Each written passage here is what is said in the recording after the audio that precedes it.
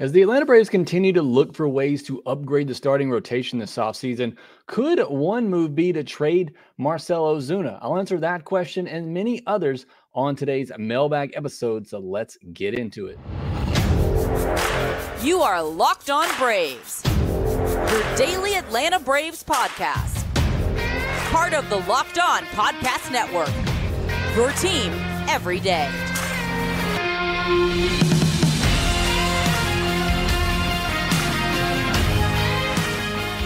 Hey, welcome back to Locked On Braves, part of Locked On Sports Atlanta, where we cover your favorite Atlanta sports teams each and every day. I am your host, Jacob Mastroianni. You can follow me on social media at Shortstop Ball. Also, make sure you check out my written work over at bravestoday.com.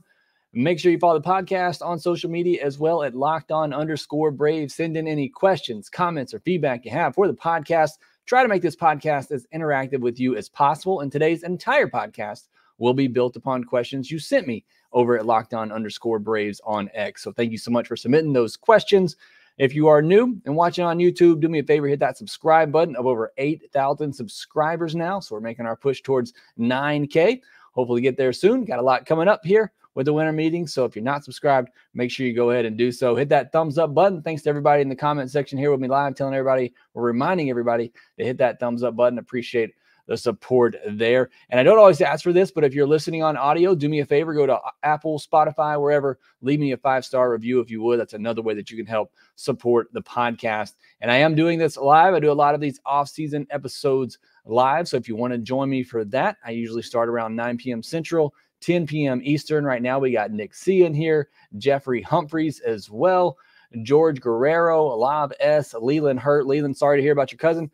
I hope the family's doing okay. Prayers out to your family right now. Luke Martin as well. Joe Me, uh, uh Argenison here. Chuck, JL, Jessica, Chris Hester. Too much. Nick Harvey, Evan Hollingsworth, Josh Daniels. Thank you so much for joining live. Appreciate all the support, whether you're here joining us live or watching the replay. Appreciate all the support you give me here at Locked On Braves. This is our mailbag episode, so I got a lot of questions to answer on today's episode. Matt Mockin here as well says he's present. Joshua Thibault as well. Thank you so much for that. Do need to remind you today's episode is brought to you by FanDuel. Make every moment more. Right now, new customers get $150 in bonus bets with any winning $5 money line bet. That's 150 bucks if your team wins. Visit fanduel.com slash locked on to get started. All right, we got to get started. Sorry for the long intro there, but do have a lot to talk about. And the main point I want to talk about today is the idea of trading Marcell Ozuna. You've kind of heard mentions of that. I believe we've talked about it on here a little bit, but then he had an article from Mark Bowman who somewhat, I don't want to say suggested, hinted at it, that it could be a possibility. A couple of questions from you about it as well. Braves guys ask Should the Braves target Soler and then use Ozuna in a trade package to get a young pitcher they can extend? Leland Hurt asked Will AA try to move Ozuna? this offseason. So I want to start with that topic. And I wrote about this over at bravestoday.com. If you want to go check that out, uh, you can see what I'm about to tell you in written form. When I going through that article and the way that I wrote it up, I, I see this as potentially three reasons why you would trade Marcell Ozuna. One being you think what happened last year was more of a fluke and that he's going to regress back to the player that he was for two plus years in 2021, 2022, in the first month of 2023. Looking at the metrics, the underlying metrics, there's not really a case for that. It's not like it's not like it was a fluke season by what he did. It's not like he had an exaggerated BABIP. You know, his batting average on balls in play was about 293, which is around league average. He hit the ball extremely hard as he always does. And one thing I pointed out throughout the season with Marcelo Ozuna is he wasn't just an all or nothing bat. Yeah, again, I said coming into last year, I think you give him 500 at bats, you're probably going to get 30 home runs out of him, but does he give you anything in between? And what impressed me the most with Ozuna this year is he did give you stuff in between. He took the ball the other way a lot more. Took his singles. He, he took his walks. So I thought the approach from Ozuna was much better. So there's nothing in my mind from this season that would tell me it's a fluke. But you could try to trade high on that value. Look, Braves were trying to give him away last year. last off season and could not. They were even entertaining taking on even worse contracts in pa- Patrick Corbin and Madison Bumgarner. Now, I think he may have some value. However, I would pump the brakes. Braves guy talking about trading Ozuna for a young pitcher. I don't think you get much. Even the year Ozuna's coming off of, I don't think you're going to get much for a one year rental. He does have the team option for 16 million the following year, so it's potentially a two year deal, but he's a DH only at this point, and that's just a good chunk of money for a DH only. Now, he was one of the best, if not the best DH outside of Ohtani in baseball last year, but still, it's hard for me to imagine teams would be willing to give up too much for what could essentially be one year of Ozuna and with all the things that come along with him, the off the field stuff, which hopefully he's put behind him. And, you know, obviously 2023 went pretty smoothly both on and off the field as far as we know, but still, he's going to have some of that off the field baggage and that's going to come along with him. So I just, I wrote this up in the article. I think at best you get a back of the rotation pitcher, you get a veteran bullpen arm, or you get a, a, a, lottery ticket prospect. I just I don't think the value is that high in a return for Marcell Ozuna. So in my mind, the only way, the only good reason, and I don't I don't necessarily think it's a good reason, but the only way you would trade Marcell Ozuna is if you needed to free up money for other moves. And if we're doing that, I got I got I got bigger issues because I hope we're at a point where we don't have to we don't have to create a hole by getting rid of our should have been silver slugger DH to go try to fix another hole.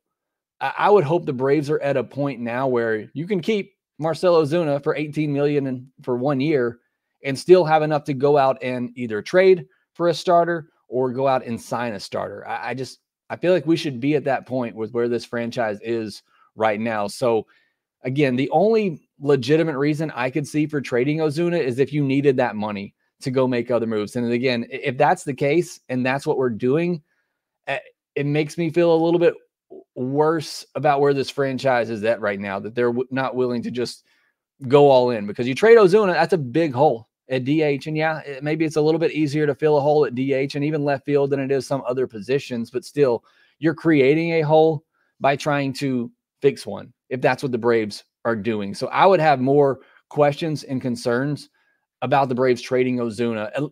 Maybe they feel they want to try to get something out of him because they they don't feel that he can replicate what he did in 2023. And look, I'm not saying he's going to hit 40 home runs again or even be that good, but again, just looking at the, the underlying metrics and the data, nothing in that suggests that what he did in 2023 was a fluke. So again, I just Doc's card asks, how much value does Ozuna add to clubhouse chemistry? And that's a good point. 2023 flipped everything about Ozuna. He went from a guy that it looked like they were going to cut and just eat his salary and somebody that was potentially, you know, a clubhouse problem, at least from an outside perspective. And now we're looking at a guy who, again, should have won the Silver Slugger at DH. I think there's reasons why they didn't give that to him.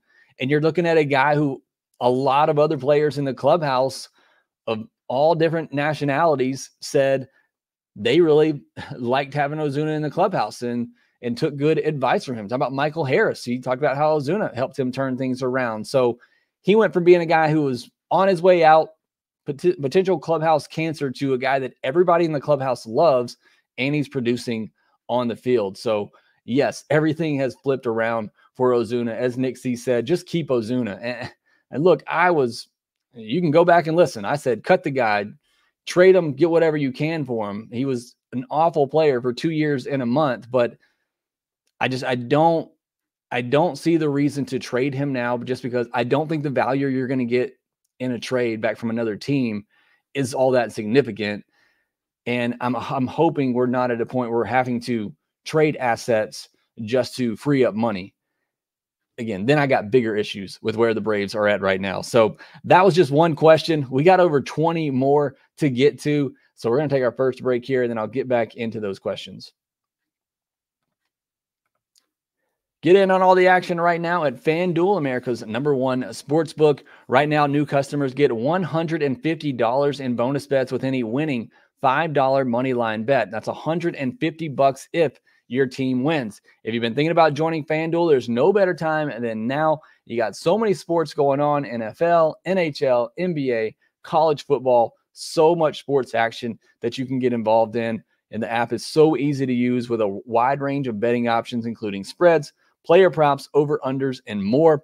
And right now, you go over to FanDuel you can go look at the World Series favorites for 2024. You're going to see your Atlanta Braves up there as the current favorite at plus 600. You want to get in on the college football action this weekend. Your Georgia Bulldogs spread's gone down a little bit. It was up to six and a half earlier in the week. It's back down to five and a half point favorites for Georgia. So you're feeling pretty confident in that. You can go over to FanDuel and put that bet down then on the Bulldogs. Go visit fanduel.com slash locked on to get in on the action this NFL season. Also, make sure you visit fanduel.com slash play safe for tools and resources to help you stay in control of the way you play. FanDuel, official partner of the NFL. Also, want to remind you Locked On has launched the first ever national sports 24 7 streaming channel on YouTube. Locked On Sports Today is here for you 24 7, covering the top sports stories of the day with the local experts of Locked On, plus our national shows covering every league. Go to Locked On Sports today on YouTube and subscribe to the first ever national sports 24 7 streaming channel. All right, I have a lot of questions I'm going to try to get to here. I'm going to try not to rush all of them, but if there are some that can be answered quickly, I probably will do so. Joey Milby says Lindsey Crosby over on Locked On MLB Prospects. Make sure you go subscribe to him. Mentioned Waldrep as an outside candidate for a pre debut extension say he blows everyone away in spring training and AA is inclined to do it. Is essentially a copy and paste of Strider's deal with one year difference for service time? Probably, yes. I don't think that happens. Um, I still think there's a, I don't want to say a good bit. It's really just command, but it's something he struggled with for a while at the college level. And so I, I don't think it's just magically going to fix itself because those issues were still there even in his short professional debut. Um, so I don't see it happening right away. I think Strider's, a, as you have seen now, it's a different case. I think the Braves are great at evaluating talent and knowing what they have, knowing who to get rid of, who to trade, who to extend. And I think Strider, mm, they could see he was going to be one of the better pitchers in all of baseball. I, I don't know that you could say that about Waldrep. So it, look, it, Lindsey's right. If there's a you know a candidate on the Brave or in the Brave system right now that looks like that extension candidate for a young kid coming up, I think Waldrep is probably it. But I think you got to see him at the big league level first because there there are real command issues with him. Joey Milby, you can add one player to the current 26 man roster, provided fully healthy. Who helps us the most in a playoff run just for the playoffs? Cease, Glasnow, Bieber, Soto, or Arozarena. I go with whoever has the best stuff, and that's probably between. I'm, going with a pitcher, um, and that's probably between Cease and Glasnow. I, I want to lean. Probably going to lean Glasnow if he is healthy. I, think his stuff is very electric. He may not be able to go deep for you in a game, but if he can give you five innings, I'm looking at who can put up zeros for five innings because the way the Braves offense has been the past couple of postseasons, that's what we need is somebody that can go out there and just put up zeros. I think Glasnow can do that for five innings, and then you turn it over to that really good bullpen. So I'd probably say Glasnow again if we're talking they're going to be healthy, and I'd probably go go with Glasnow in that situation. And then last one from Joey, you get to pick our new base coaches and bullpen coach. Who are you going with? Can Charlie Morton go ahead and be a bullpen coach? Maybe Josh Tomlin might be somebody good to bring back in that that bullpen coach kind of role. Uh, seem to be somebody they just like to stick around for that. You know, Jesse Chavez might probably come back for another year, but also somebody, you know, that maybe could slide right into that role. Um, you know, Martin Prado, David Ross, if he doesn't get a managerial job, or, or guys I've mentioned as possible coaches. I heard somebody talk about maybe Andruw Jones as being that outfield first first base coach. I don't know if he has any interest in coaching, but I honestly haven't looked that far into it. I do think Tuiasosopo is probably going to get one of those jobs. He's been the AAA coach for a while there. Uh, but I haven't put too much thought into who's going to be the coaches. But they do have three vacancies they're going to have to fill. Kaz Buckeye says Randy feels like the ideal trade target for left field, a three win player with potential for more. Uh, he was unlucky in 23. Defense has nowhere to go but up, and Braves have the prospect capital to make a competitive offer, unlike perhaps for Soto. Three years of control. How much do you give up? It's kind of like with all these trades I've talked about. I think for a guy like a Arozarena because of the control. you're going to have to give up one of your top two prospects. I think that's what it's going to cost. Now, I think if you're going and getting Randy Arozarena, I think you get Glasnow. And I honestly don't know that Glasnow really helps the package that the Rays would get. I almost think you have to attach Glasnow to Arozarena to get anything of significance. Because, like I've talked about with Glasnow, I'm not giving much. I'm not giving up much of anything from Glasnow. It's one year, it's $25 million.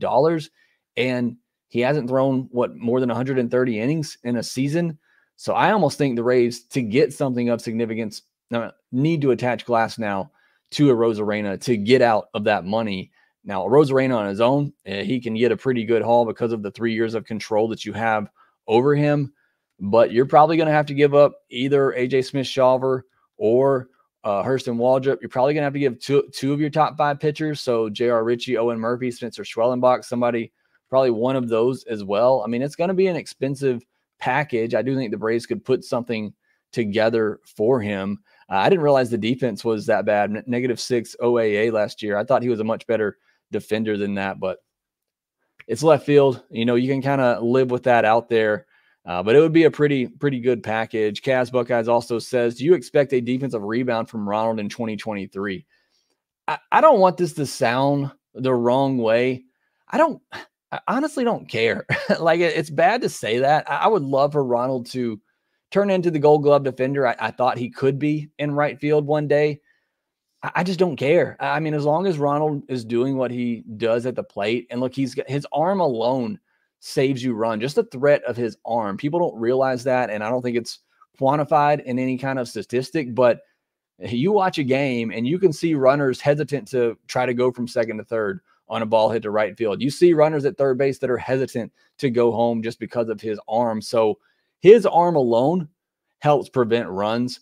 And I think he's I think he's better defensively than what the metrics say. Yes, he gets bad jumps, doesn't make the best reads, but his speed still allows him to get to a lot of baseballs. Do I think he can be better? Yes. But in all honesty, I don't know that I care. I mean, if the guy's going to win MVPs, like he is offensively and he still has that cannon of an arm, I, I get the hesitancy out there because of where the injury occurred. Uh, you know, why he may be a little bit more shy or hesitant, whatever you want to say defensively in right field. But again, I know it's bad of me to say. I, I just don't care. I, I, just don't care. As long as Ronald stays healthy and keeps doing what he does at the plate, let him be a, an average to slightly below average defender out there with one of the best arms in baseball. Bellfire says, with the moves made so far, do the Braves have the best bullpen in all of baseball? Probably going to do a deeper dive on this in a full podcast later in the offseason because it's a good question, but we kind of have to see how the rest of the offseason shakes out. But certainly things are stacking up for the Braves to have one of the best bullpens. Like, I don't think a lot of fans realize that the Braves bullpen last year was one of the best. I believe it was top six, at least top 10 in all of baseball. But you talk about Iglesias, you talk about you know, Joe Jimenez, who had a great end to his season. Pierce Johnson looked great with the Braves coming back. Obviously, AJ Minter. You know, you throw in Aaron Bummer with that, Reynaldo Lopez. I think he's going to end up in the bullpen. And there's a lot of really good arms out there. So I think they they definitely have improved the bullpen, which you know already was a really good strength for them last year for the most part. Ron Stevens says though left field and starting pitching issues that need to be addressed this offseason. However, do you think AA should address utility too? I love that our core players are everyday players, but baseball is a long season and longevity is crucial going down the stretch. So, yes, I, would love to see him upgrade the bench a little bit. And you saw him clear out, you know, the bench. That was basically everybody that got non tendered or traded. I uh, would love to see them get some quality backups. The problem is, you know, quality backups want a chance to go start somewhere. And so if they have an opportunity to go to to Kansas City or the White Sox or some team that's rebuilding where they can play every day, that's where a lot of those quality players are going to go. The, the way that you get those quality depth and bench pieces is through the minor leagues. And it's why I've stressed so much the importance of having some quality up the middle, you know, players in the organization. The Braves just don't have that right now. They just traded Braden Shewmake. You have Vaughn Grissom Next in line would probably be Luke Waddell. I talked about the Rule 5 draft. I think there could be some guys there. I mentioned a Freddie Zamora. Hasn't played above double A yet, but somebody who, you know, has played at the college ranks. He's an older player. I think he's somebody you could put on the bench and at least we feel good about him there defensively.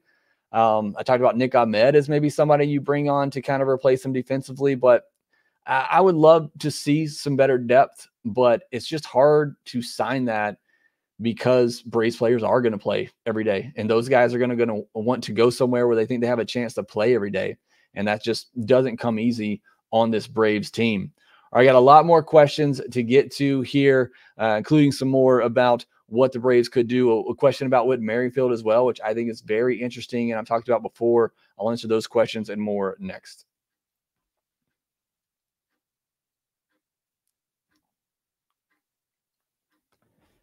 Getting back into the list of questions here, Aegon says, Does another three team trade make sense if Braves are eyeing Cease?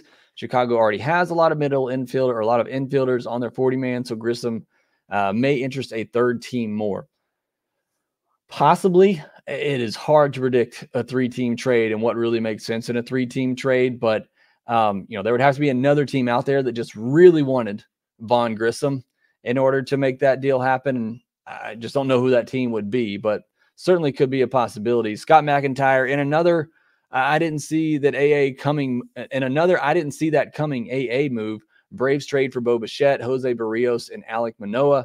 Jays get Ozuna, Grissom, Elder, AJ Smith Shawver, and Dodd. AA and Bo agree to an extension. That would definitely be a move nobody saw coming.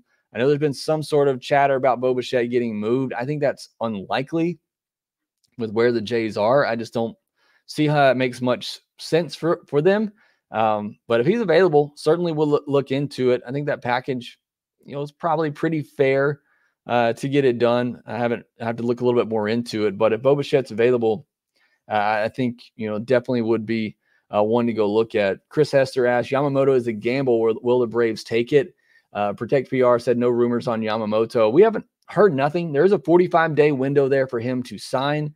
So uh, it could take a while while he, you know, takes in all these options that he has. You know, a lot of teams are in on it. The only reports I have seen is that it it sounds like the price for him just continues to go up. And if that's the case, I got to imagine the Braves are probably out on him.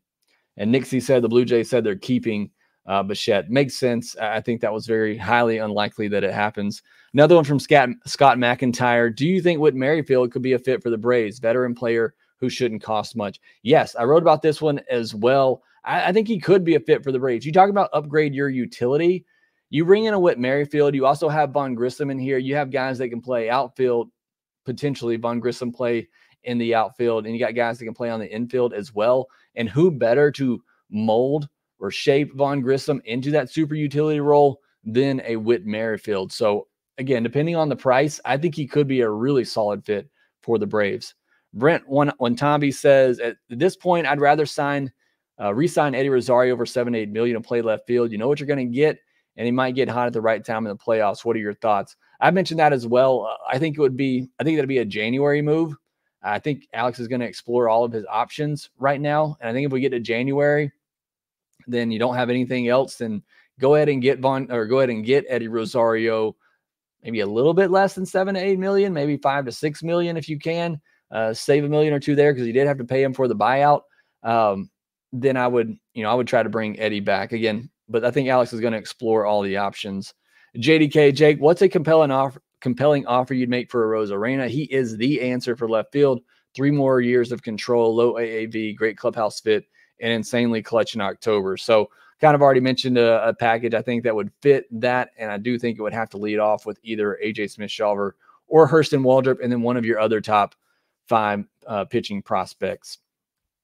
Uh, answer the question from Braves guy. Another question from Leland Hurt. Will AA aggressively try to keep Fried and pursue another quality starting pitcher, or will he abandon the Fried situation altogether and pursue a quality starting pitcher plus left fielder? I hope we groom uh, Grissom for left field. I think the Fried thing is out the window. I mean, things can always change, but with how aggressive they were on Nola, that to me signified that they believe Freed is gone after next year. So I think they're exploring other quality starting pitching options. Ron Stevens, do you think the Braves should intervene and pull Acuna out of the Winter League? He's been hit twice on the hands, wrist area in a short period of time. This is a tough question. You want to keep the guy happy. He says playing and continuing to play down there makes him a better player. You got to be careful and protect the asset. I mean, that is a huge loss if something happens to Acuna. Um, I, don't know what the I don't know what the answer is. Um, I, I'd have to know what the conversations is like with Acuna if he is open to it or if he is just you know adamant saying I want to play in Venezuela. And if that's the case, I'm not going to I'm not going to risk upsetting my star player. Not that you should have to cater to one player, but the guy wants to play and wants to play for his home country. I love it, and I like watching him. It gives me something to watch here uh, in the off season. But he is a huge asset for your team and a big part of you winning. So I don't know what the right answer there, to be honest with you. The right answer from the Braves perspective is yes, probably, hey, cut this out, get ready, you know, for the season. But how do you say that to a guy who loves playing for his in front of his country and loves playing the game that much? So uh, it's a tough, tough one to answer in my mind. Chris Green's number one fan. Two questions. What do you think the trade value is for someone in the lower level guys like Elder, Vines, etc.? Thoughts on trading for uh, Liover Peguero or signing Joey Gallo? So the Peguero one is pretty interesting and one I haven't thought about with the Pirates. They obviously have a shortstop in Oneil Cruz who looks like he's going to be healthy this year. Uh, that one could be an interesting one. Um, again, I don't know what they, they they need pitching, obviously, so I think they could match up in that deal. And it sounds like Peguero could stick at shortstop.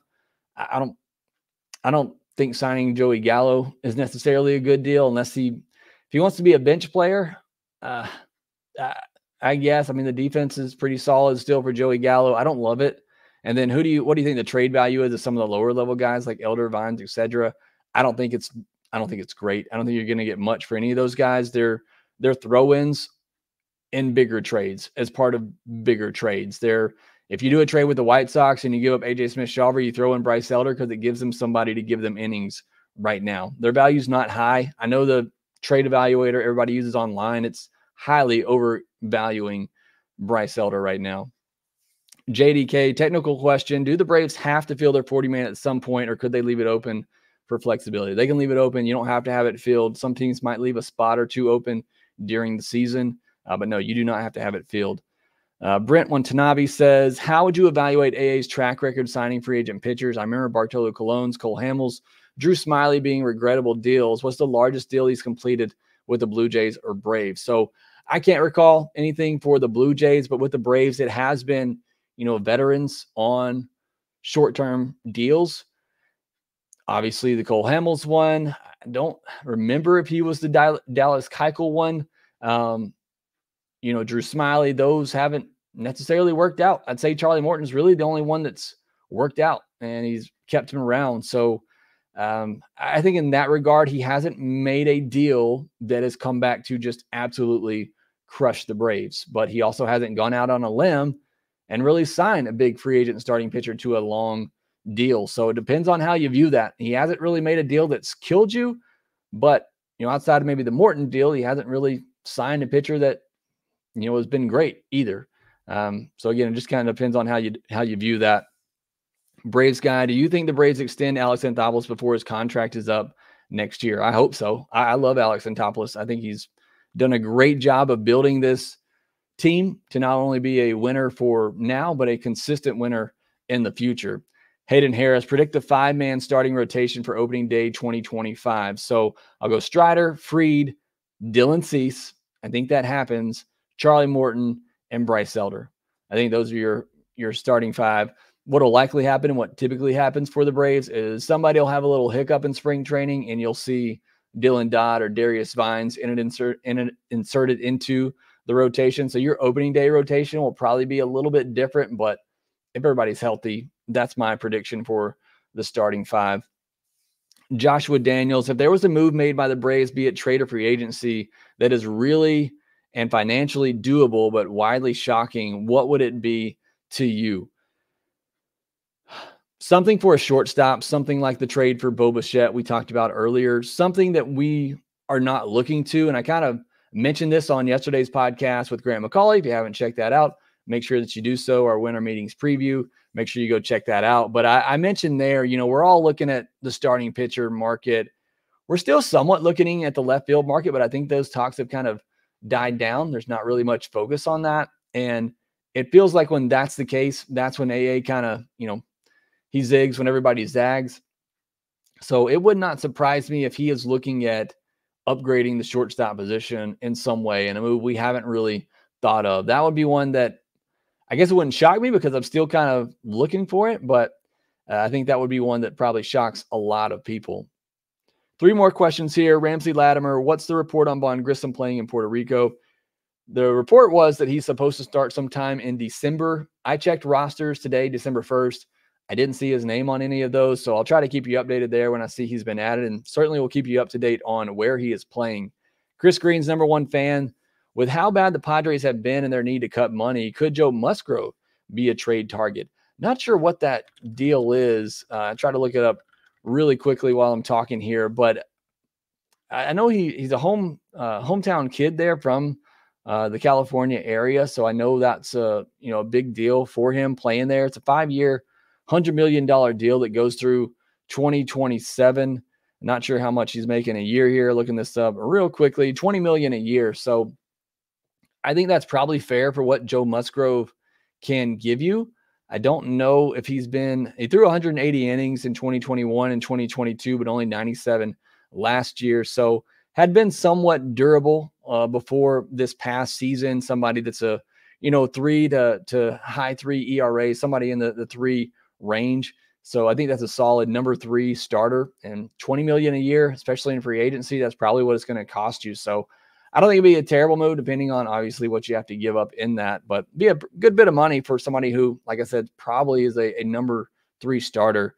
Carter Smith says, Jake for new Braves bench coach. Let me take it. I had to move the family uh, over to Atlanta, though, but uh, certainly would love to do that. Love to just sit on that bench and watch this team play because I love watching this team play. I've watched some of the games going back from 2023, and man, I miss watching this team play. It's a lot of fun. Kenneth Clark says, any rumors on Hunter Renfroe for the Braves? I, I can't remember what side it was out there, but somebody mentioned that as a possible fit.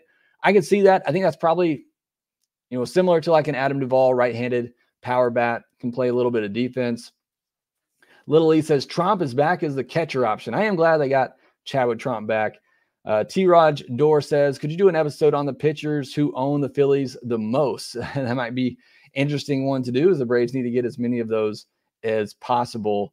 And I see AG7 talking about things being quiet for about a week. We don't hear anything tomorrow before the winter meetings. And I think that's probably right. I'm a little surprised we haven't seen anything going up here lately, but you're right with the winter meetings coming. Could be a bit quiet here until we get to those winter meetings. Miguel, if I missed your questions in here, I'm sorry. Tried to prioritize the ones sent in on social media, but thanks for joining, being here for the podcast. Thank all of you for being here for the podcast, whether you're listening live or watching the replay. Appreciate all your support here at Locked On Braves. But that will do it for this episode. Make sure you subscribe on YouTube if you're new. Hit that thumbs up button, rate, review, subscribe to the Locked On Braves podcast wherever you get your podcast. And I will talk to you next time.